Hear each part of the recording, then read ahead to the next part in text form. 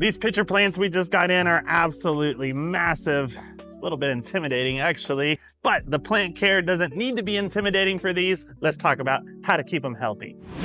So this particular pitcher plant is one of many carnivorous plants, and this one is Nepenthes miranda, which is one of the hybrids that has, well, the biggest pitchers of almost any commercially available variety. Now, if you are purchasing one of these and taking them to your house, I like that they are in a hanging basket already because that allows these big pitchers and the leaves to hang down and be displayed to their fullest potential in the home.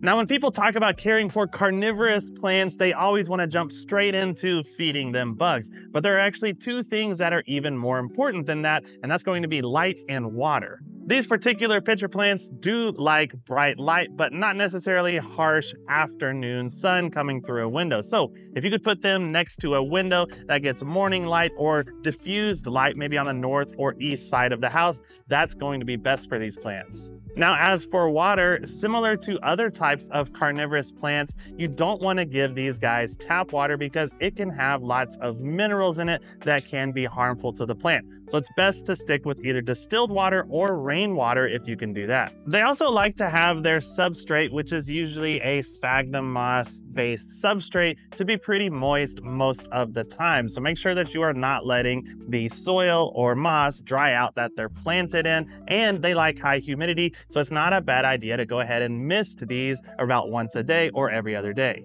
Now, once the water and light needs are being met, that's when you might think about actually giving these guys some bugs because that's what's going to help give them valuable nutrients that they can't otherwise get. Now, if they're in an environment like a shaded porch where there are actually bugs outdoors, it's going to catch bugs all on its own because that's what these pitchers are designed to do. They actually have attractants inside that will lure insects in, and they have a very smooth inner wall of the pitcher that will trap them if they do get inside there. And once they fall to the bottom, they will land inside of the liquid down there that will actually start digesting those insects and making them into a usable form for the plant to use. If it is inside of the house where it's not naturally catching flies or other insects, you can put things like dried mealworms occasionally. I'm talking about like maybe once a week or every couple of weeks into these tubes in order to give them some of that nutrition. Or you can find dried insects, maybe from your windowsill or other places around your home